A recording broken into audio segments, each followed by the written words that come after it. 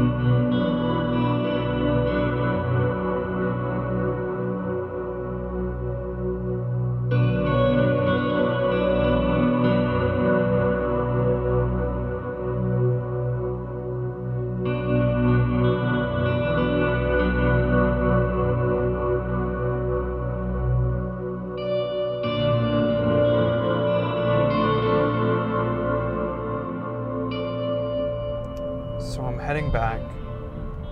probably one of the creepiest abandoned houses I think I've ever been to. And I am not excited. It's gonna be an interesting night, that's for sure. Let's see if I can pull this one off.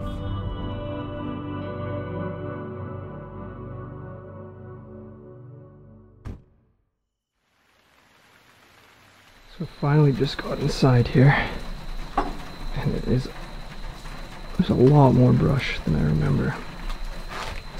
I am soaked.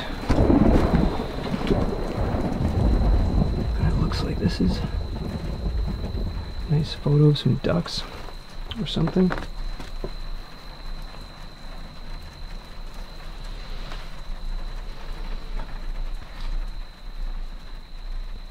Hello? Hello?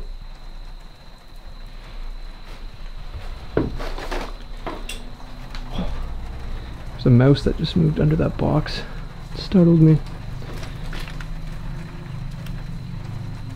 And there's, I think, a photo of the mother or one of the daughters.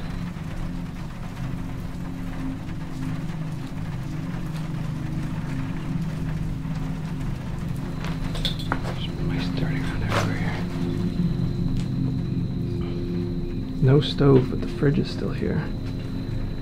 I believe there's nothing inside. Smelly. Oh. Okay, that was a mistake.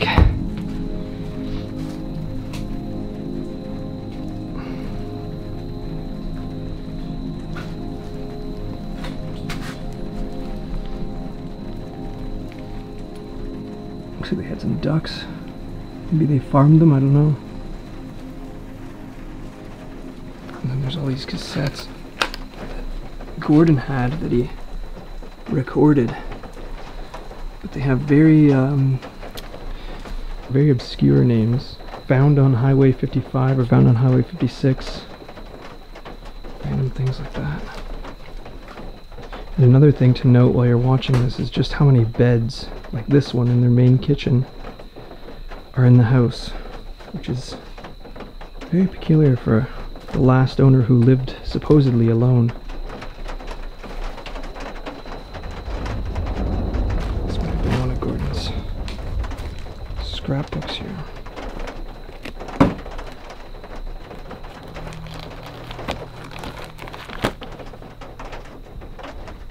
It's very weird objects. Like this is a a pen he put in laminate.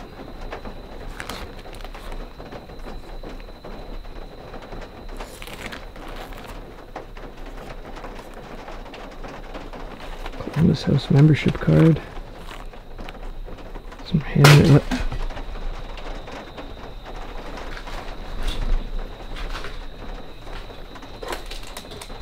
Hello?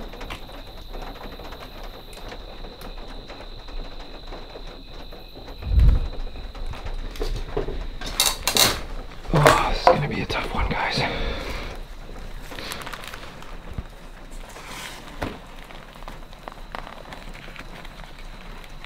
Looks like he had various cutouts from inserts in magazines and such.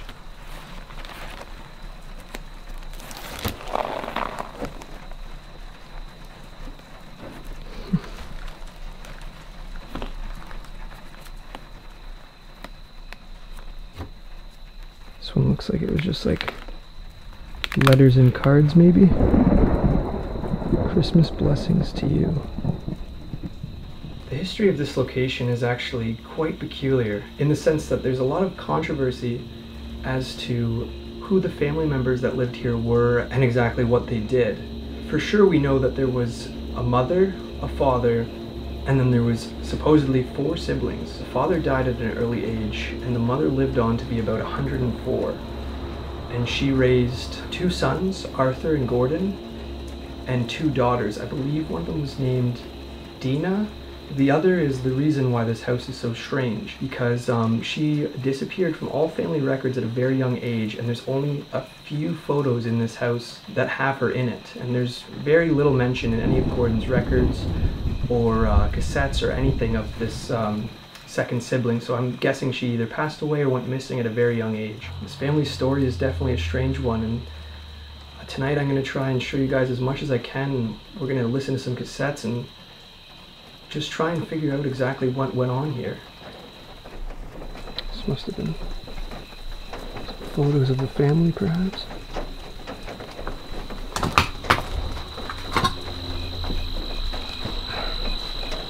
It's like a little cubby.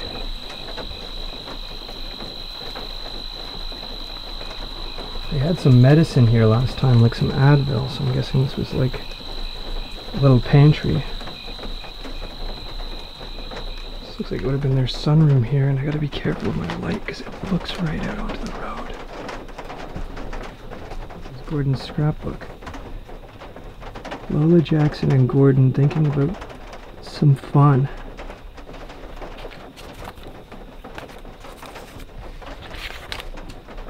This looks like it was a photo of the two sisters. It's very hard to see. Oh, here's a photo of all four of them.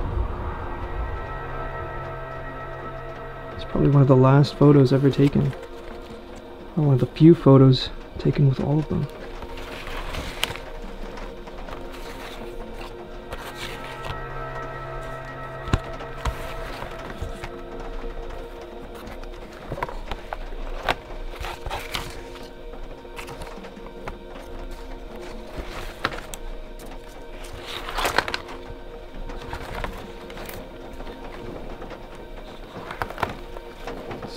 See that it looks like a little more destroyed than last time. Here's a letter he would write to news telecasters. So he idolized these ladies who would um, go on TV and talk about the news. And he would write them letters and they'd write them back, but he like obsessed with them. He would also collect their birthdays and information about their birthdays. Has them all written down in a list here. Here's another letter from the news telecaster. Dear Gordon, thank you for your kind letter of June 9th. I really appreciated it. This was 1976.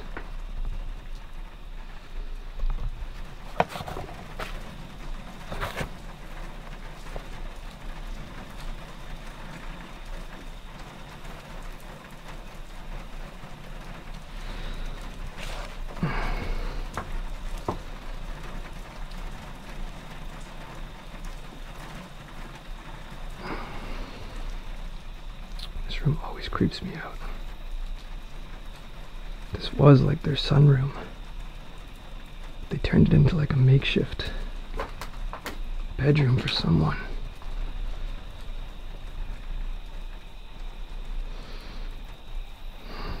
This looks like one of many photos that Gordon had of animals he'd killed.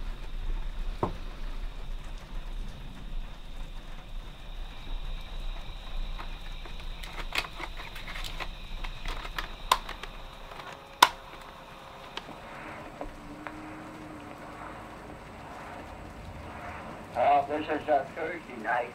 It's seven thirty-one. I'm laying here in the alcove bed. I wonder. Uh... Oh, this is Red Party. I've got the homemade condenser microphone up my left ear. Yeah, Rick. Oh, it's Rick. Okay. Okay, well, what's wrong with it? Why doesn't it work? No, I don't think anybody goes to another life when they die. You're holding on to the braid, removing it, pushing the barrel clip, moving very cord straight from my earlobe. Old projector slides. You can see this one's like looks like it's of the moon.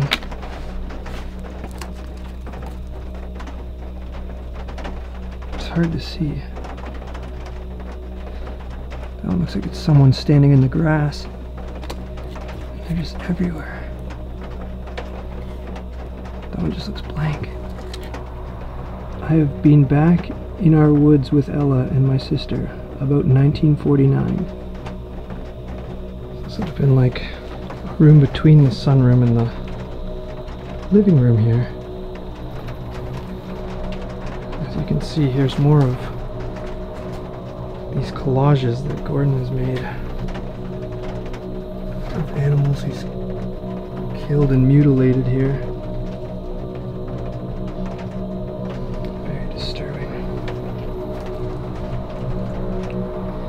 Also a lot of reel to reel uh, tapes here. I wish I had a player that could play all these. Where the upstairs bedrooms are, there's a this door closes here.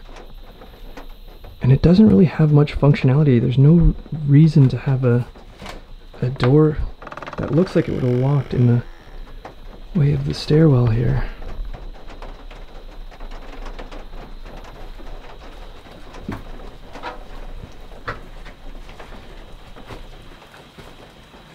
Something worth noting here, and I noticed this my first time at this house, is this dresser would have been covered with books and uh, toys and other various objects. But if you look behind it here, push this out of the way. It's actually blocking an entrance to an unfinished attic. And on the other side of that attic, right there where you see that pink open door, that's actually a secluded kids' room. And that, ladies and gentlemen, is where I'm going to be sleeping tonight. The last time I was here, there was a raccoon staying in this attic. So I'm hoping that he's gone now. And that I don't have to worry about him. But, ah, let's press on. I don't want to stand on anything other than these supports. Oh, you can see the cobwebs. Oh, I have to walk right through that.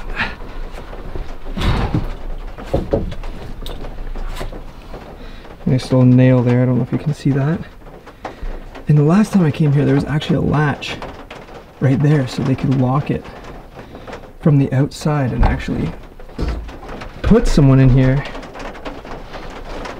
And this little cot looks like it's going to be my bed. And oh, it looks like there used to be a shelf in the back corner. Somebody took that out. But yeah, this is uh, my comfy abode for the night.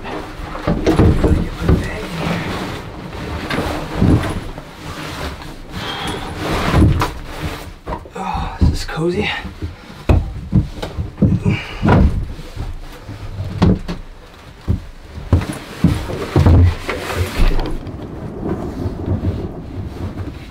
Oh, I keep seeing like shadows through that little door because of my flashlight, the way it reflects off my arm, and it's not the best thing to see in the world. Look at that, perfect size. Oh. Take off this jacket, this rain jacket got soaked. I might just hang it over my bag for tonight. Alright, so now that we've got our bed set up, explore the rest of the upstairs here.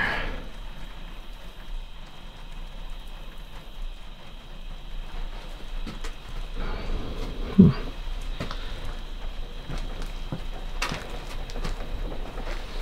This is like an old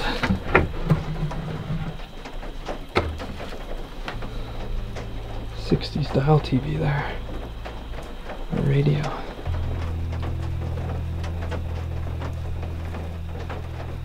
Look at the piping that would have drew heat all throughout the house during the winter.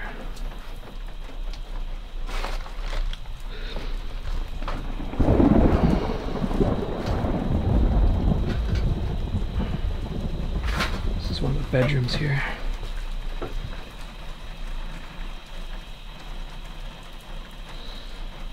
It's weird. Here's more of the animal art. It looks like a skewered raccoon that he trapped and killed.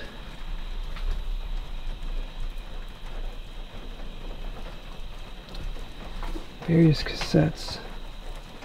Corsair Avenger Wingwalk Files. Hurricane Down. Plane Crash Black Box. Various different names.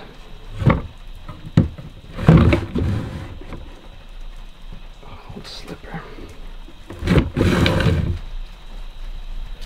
And oh, look at that. That would have been a, a phone right above their bed there. Oh? Hello, is this uh, Mr. Uh, Lee? It's Gordon Lee. Yeah, I'm calling from a family food supplier. Um, is Mrs. Lee there? No, she's not here. Okay. Um, is she the one that does the grocery shopping in the family? Well, she was my mother, but Oh. she's with my brother. She's uh, old Civil Age now. Oh, okay. Uh, so then there's just one person. You don't do any grocery shopping then for a family then, eh? No, uh, I buy some groceries myself. That I, was just for one person, eh? yes. Oh, okay, sorry to trouble you. Okay. Bye-bye. Bye.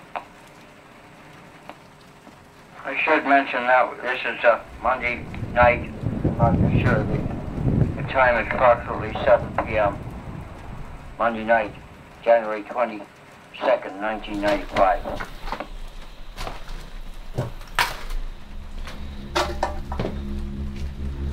Moving into the next room here. Oh wow. Yeah, there's vintage clothing and dresses.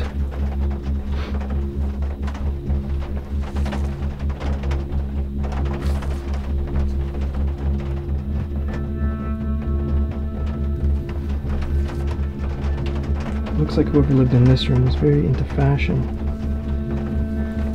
Perhaps maybe the eldest sister. This TV.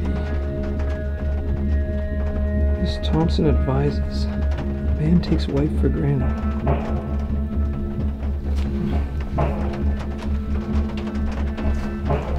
So maybe some old photos and new projector slides.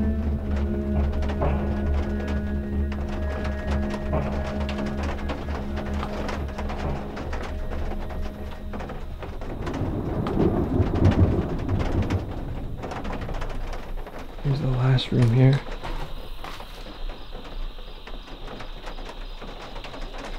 There's just a couple chairs and it looks like a lot of letters here.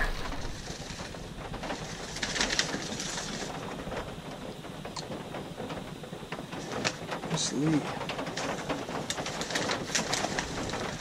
Science units. It looks like this was like all their homework and stuff.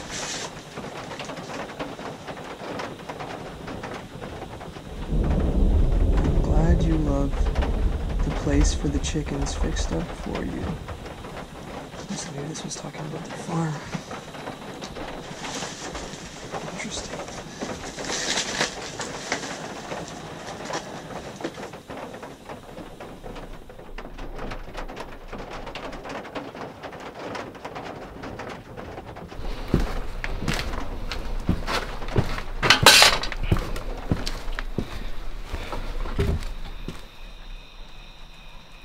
There's some kind of wa- animal wailing outside.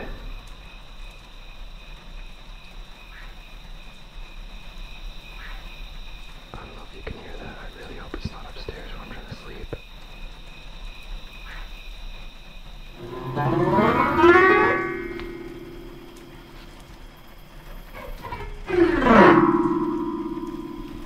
This looks like it would have been their living room. It has a nice piano. And some more photos of the family. Here's a certificate for being a member of uh, leader of the opposition in Ottawa for 90 years. One, six, one.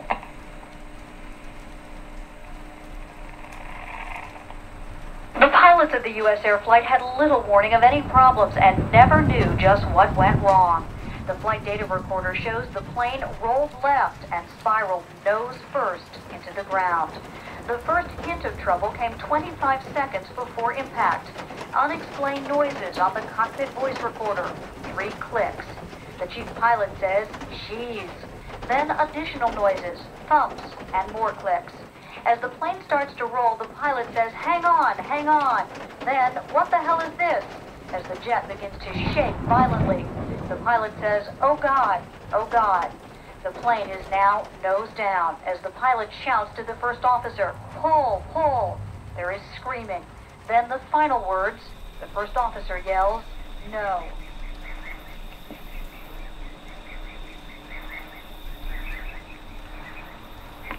Hello? Need to take off my headphones.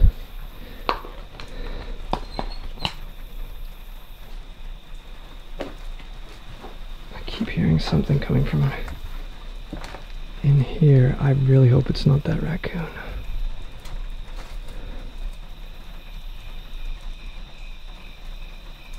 So this would have been the parents' room in here. And I can't really walk in here because it's kind of cluttered and it, the bed just barely fits the room. But as you can see, they had all kinds of religious plaques and such up on their bed about all mothers. Some mothers are talented, industrious too, and some are great fun, whatever they do. It's like a little poem.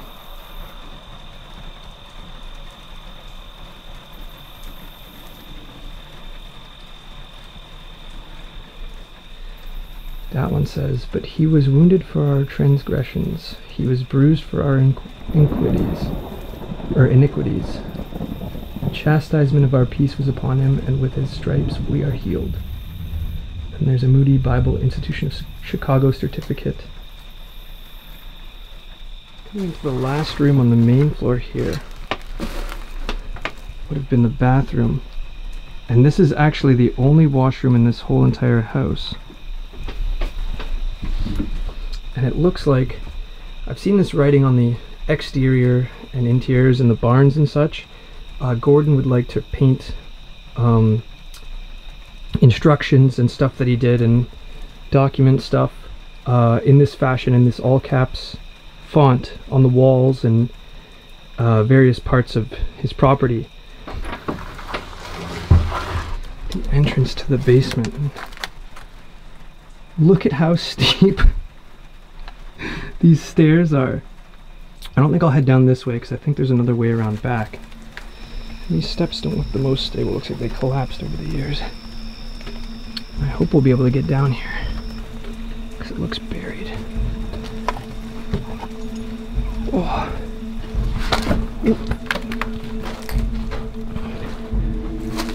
Hope we don't find a body down here.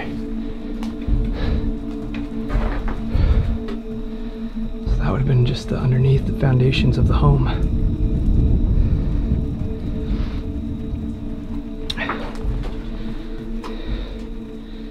It looks fairly empty, which is a disappointment. Oh my god, there's something living in that pipe.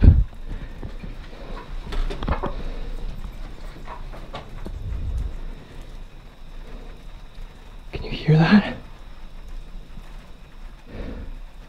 Oh my god. I was just packing up my headphones.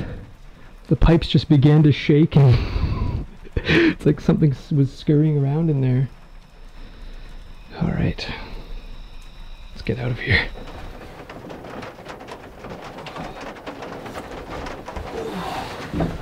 Back into my home sweet home. And I think with that, I can now call it a night.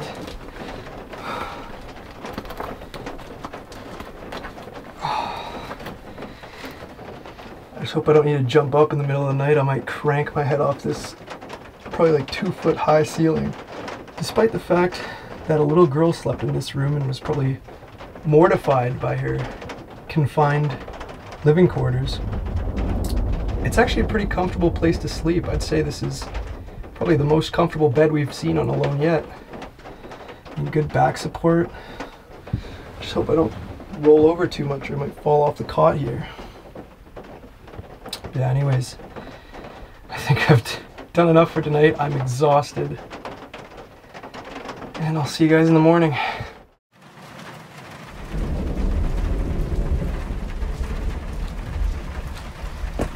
don't know if it's just the storm, it's picked up a lot. I don't know if you can hear. But, um, there's like a loud banging sound downstairs. I don't know if a draft got in or not, but, uh, I might have to go check it out. I don't know. It's really hard to sleep in this house. Keep hearing something running around out here. Each time I take a look, there's nothing. I don't know what it is. It sounds like it's scurrying.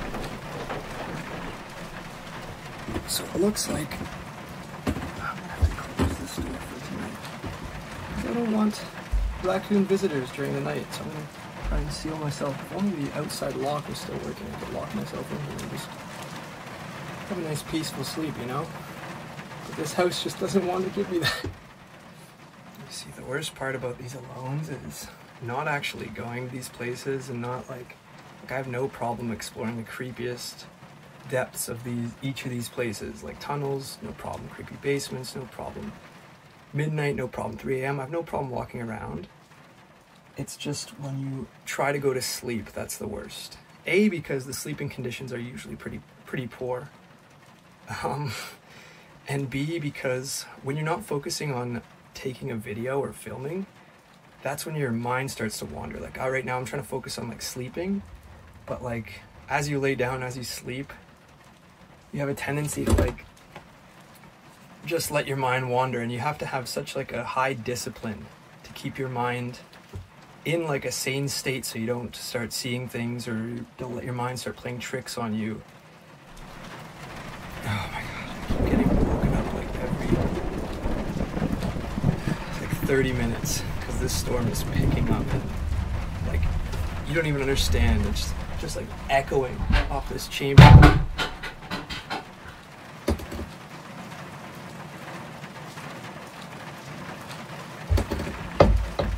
Oh my god. You guys can't see this right now. Ah, my shoes.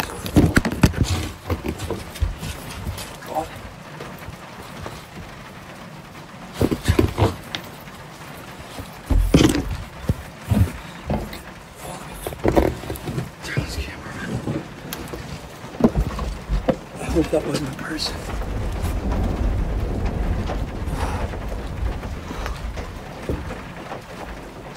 Hello?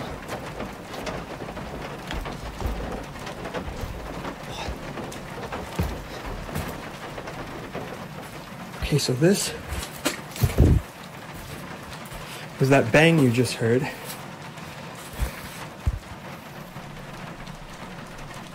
Do you know that shelf that was sitting right here that I pushed out of the way that was blocking the entrance to this attic?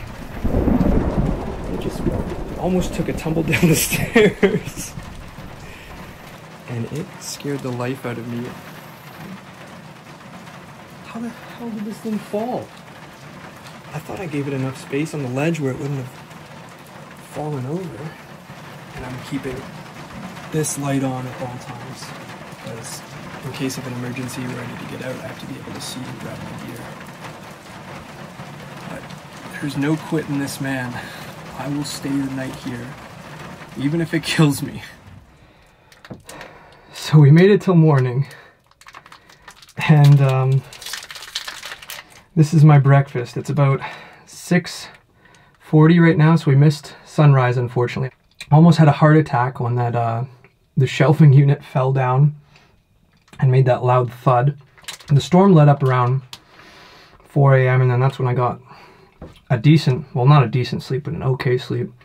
If the coyote night was a 8, this was probably a 6.5. I don't know if you can see, but this cot couldn't bear my weight and kind of ripped a little bit, which I wasn't too happy about. Uh, because I was so I was pretty much had my back on the floor for a good portion of it. and I'm kind of upset that I broke the cot. I feel bad, but I mean, I probably shouldn't have slept on it in the first place. That was my fault. But yeah, I have a nice, healthy breakfast of Nutrigrain bar and Welch's fruit snacks, and I just honestly can't wait to get out of this house. oh.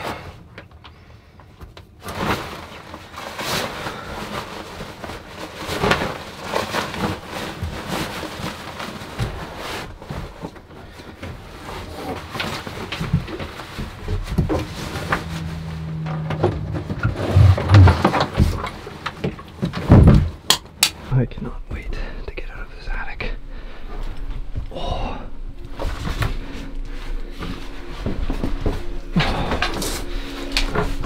Sorry, my bag is stuck. Oh, it's daylight finally. As the storm cleared and the sun rose, I had survived another night. It was definitely not the easiest of challenges I'd ever tackled but I could hold my head high and proudly say that through hell and high water, I came out on top. Thank you for watching.